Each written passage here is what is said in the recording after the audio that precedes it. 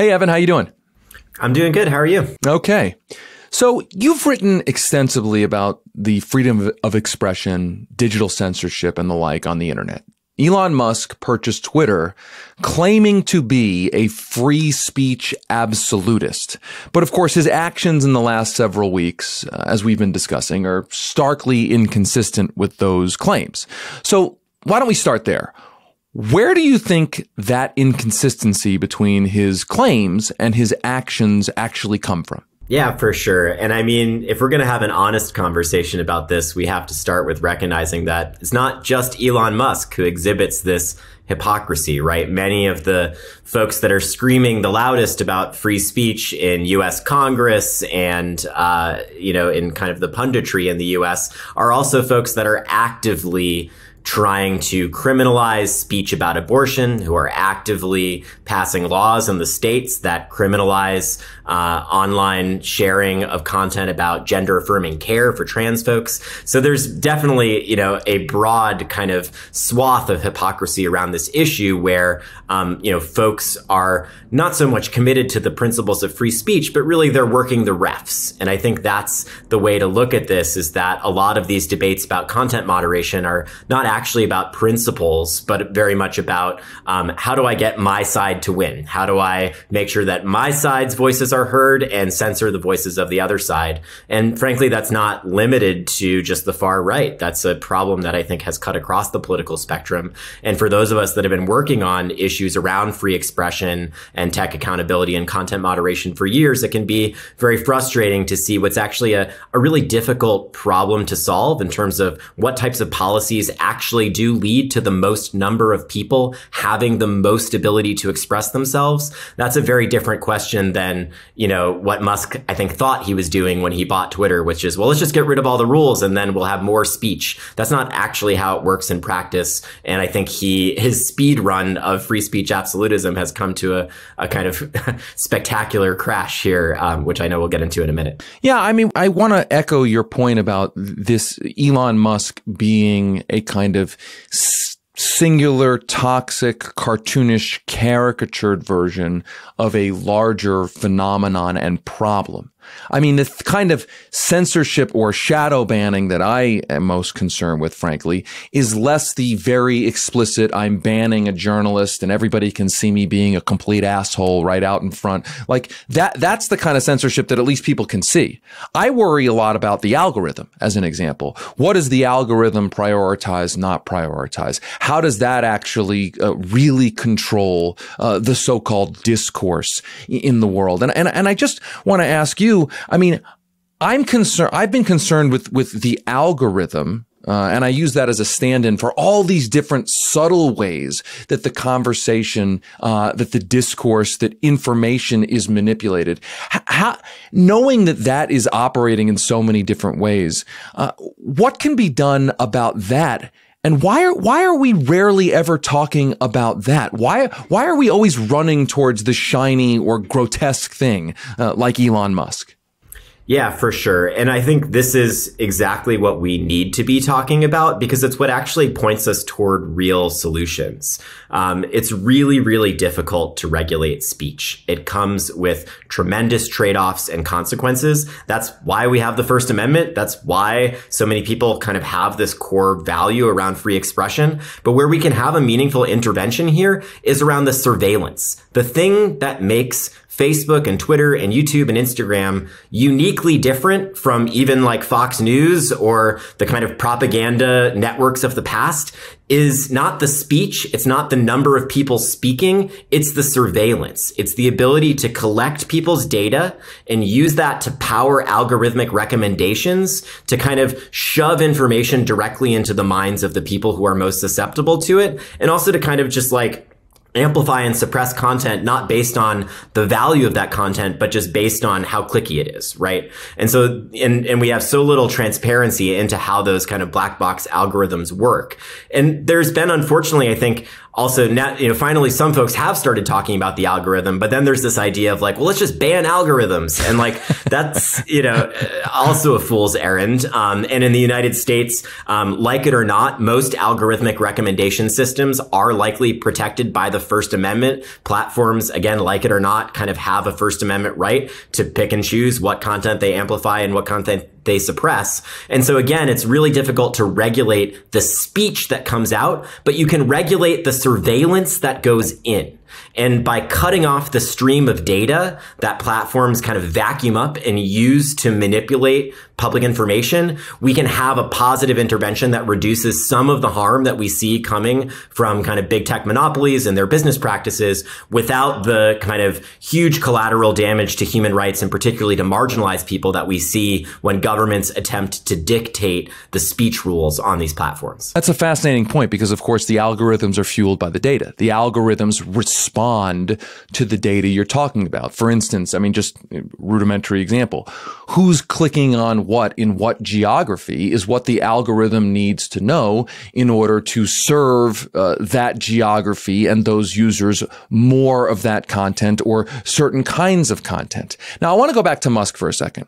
You wrote a piece for Time magazine in early November in which you wrote, quote, it's fair to say that Elon purchased Twitter because he believes social media platforms are too heavy handed and arbitrary in how they apply their content moderation and speech policies. And you write, I actually agree with him about that. Tell us a little, a little bit of detail about what specific aspects you agreed with him uh, on when you wrote that.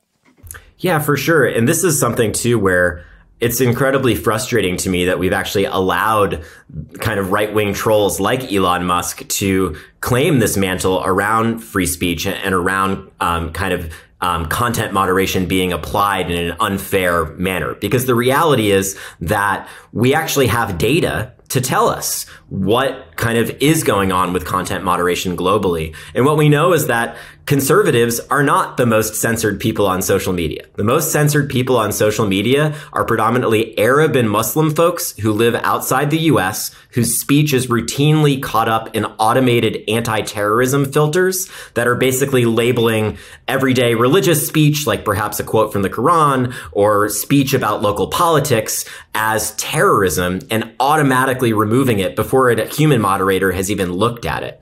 The, the other group that we know has been effectively chased off of almost every major platform is sex workers and adult content creators.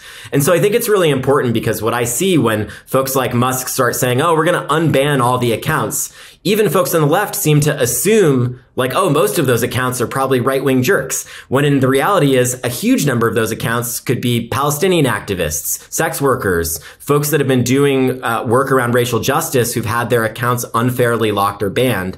Um, but we're almost accepting the right wing narrative that conservatives and, you know, uh, uh, powerful white men are somehow the most oppressed people on social media when that's just not the case. And so I think it's really important that we um, don't cede that ground and that we recognize that actually um, when content moderation rules are applied at scale arbitrarily by large for-profit corporations that do not have a racial justice analysis or a gender justice analysis um, they are making arbitrary decisions all the time that disproportionately impact marginalized people and we need to kind of take that into account. That doesn't mean that we just throw up our hands and say, well, there should be no content moderation, but it means that we need to be real about the trade-offs. And we need to recognize that when we demand that platforms remove more content more quickly, when we say broad things like, I want platforms to remove all violent content, quote unquote, we need to think about what that actually means and what the end result of that is,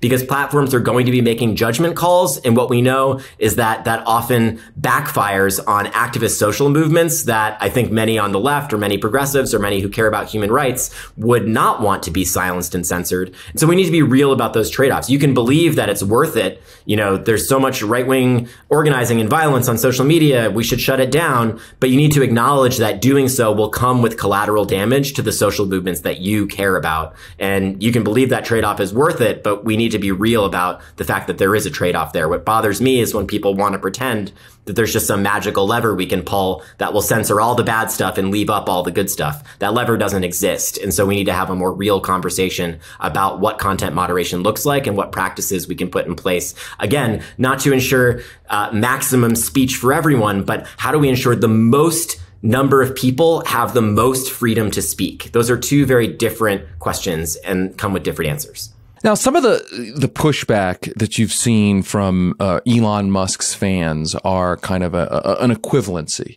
Uh, sort of this idea that, well, look, uh, Jeff Bezos um, bought the Washington Post. Rupert Murdoch runs Fox News.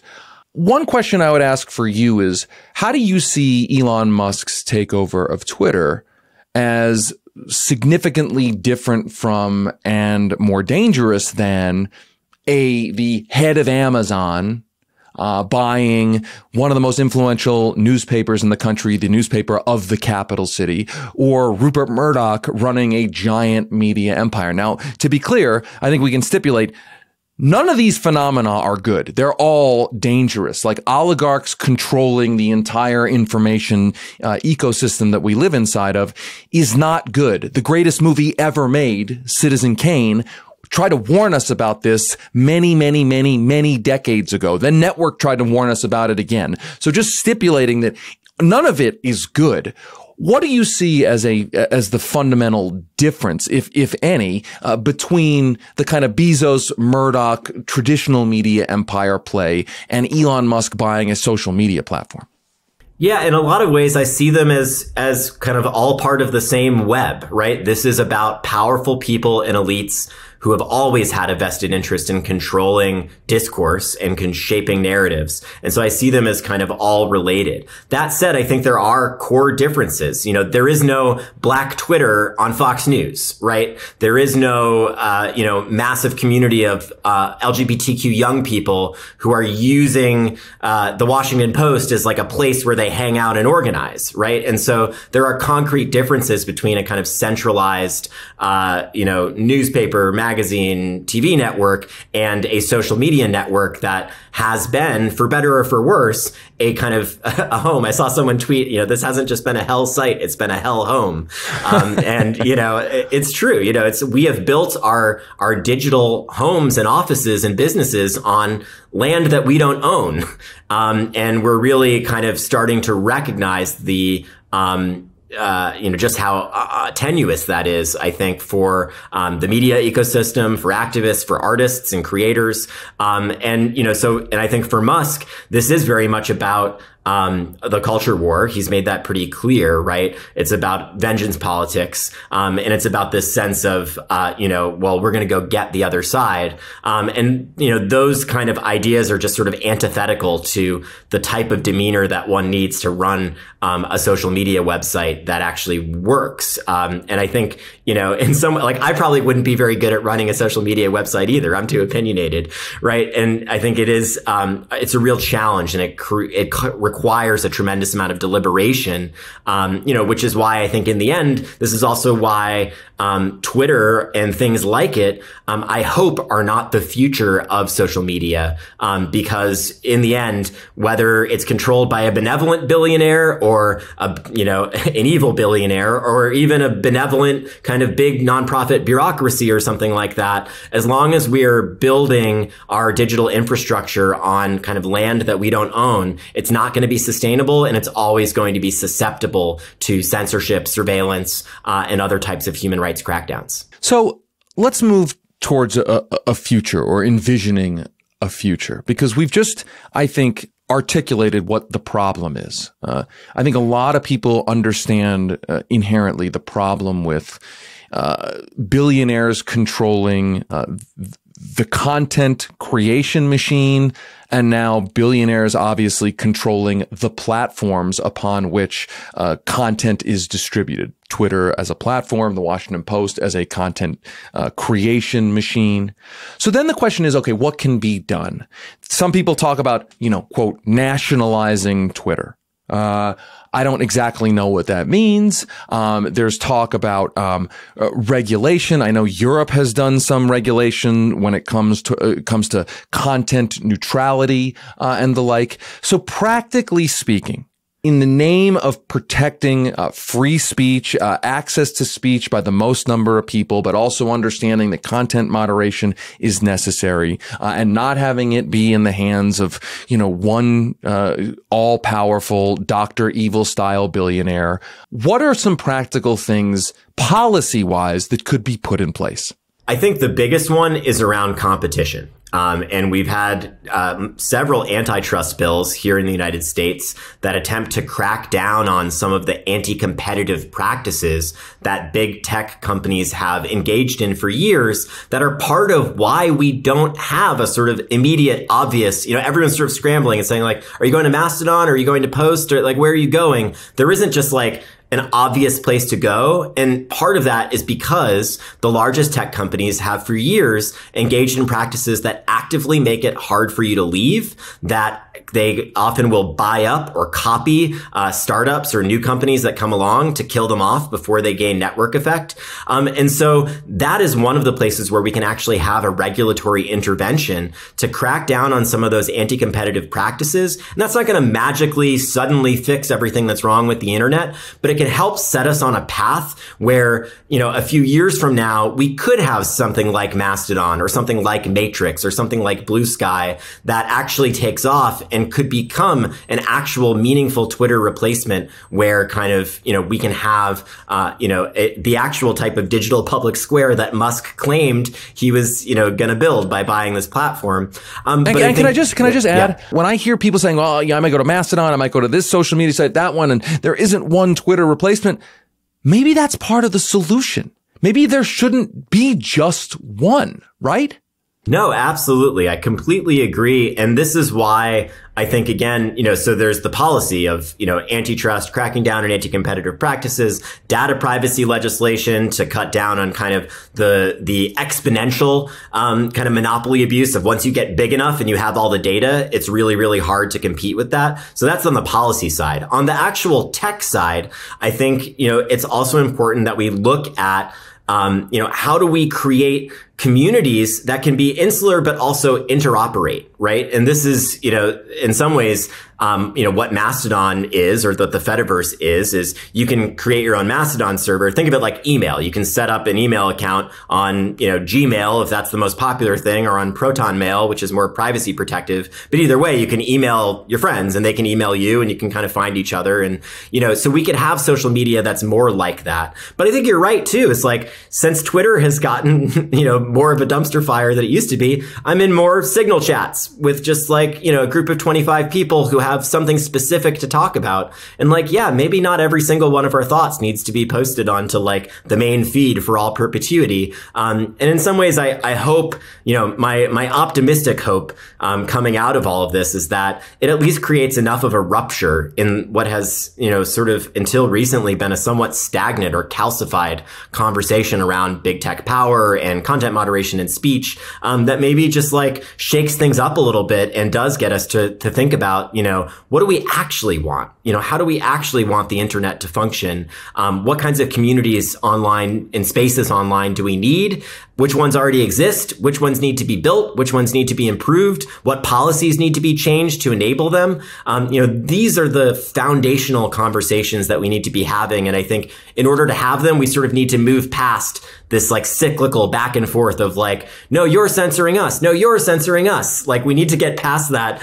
and actually build infrastructure that functions for public discussion, for social movements, for artists and activists, et cetera. Now, you mentioned antitrust, and there's something happening uh, right now. Right now, there are two bipartisan antitrust bills languishing in Congress aimed at limiting the power of some of these huge tech companies. Uh, there's the American Innovation and Choice Online Act, which would bar tech platforms from giving preferential treatment to their own products. There's also the Open App Markets Act, which would prevent companies that operate digital app stores from restricting which developers can sell their products. Now, as we record this interview on Monday, we're waiting to see if Senate Majority Leader Chuck Schumer will bring these bills to the Senate floor for a vote. Though we've reported at the lever that Chuck Schumer has very deep ties to the tech industry. Uh, so in a sense, it's not a surprise that this is the particular guy who's been stalling the legislation. Even if these bills are passed, which again, right now, as of the moment that we're talking, it's a big if. How much would they actually do to address the issues that we're now seeing at Twitter, or at least across uh, the the technology landscape that we're talking about?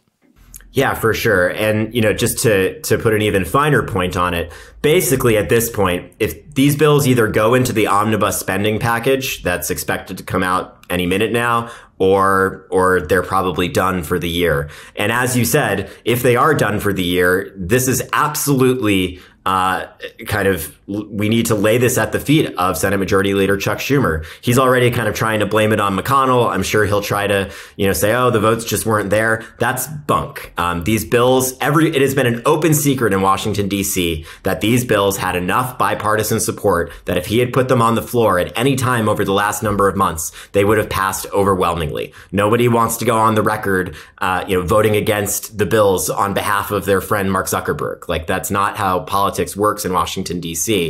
But we are here now because the tech companies spent more than $100 million lobbying against these bills. Um, and that tells you something about how scared the tech companies were of these bills. And that tells you something about the fact that these bills actually are quite strong. You know, we at Fight for the Future spend a lot of time opposing bad legislation that would make things worse in the name of making things better. For once, these were actually two good bills that would move the ball forward. And again, they're not going to magically solve everything that's wrong, but by cracking down on some of those anti-competitive practices, you start to create more of a level playing field for developers, for software developers, for uh, alternatives that are coming along and you start to kind of chip away at the calcification that again you know it's not an overnight fix but it's a structural change that kind of puts us on a path toward a future more like the one we were just talking about where people have meaningful choices to go online and find spaces with content moderation rules and privacy practices that work for them and their community.